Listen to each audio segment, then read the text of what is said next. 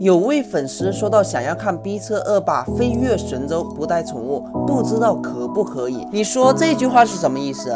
直接评论区说已三连 B 车恶霸不带宠物，你自己看着办。就这句话说出来，我能不给你安排吗？对不对？只要你们的条件不要太离谱，然后我的仓库也有你们想要看的车，那我就奉陪到底。恶霸作为一辆腾空车，在这一张地图完全不虚。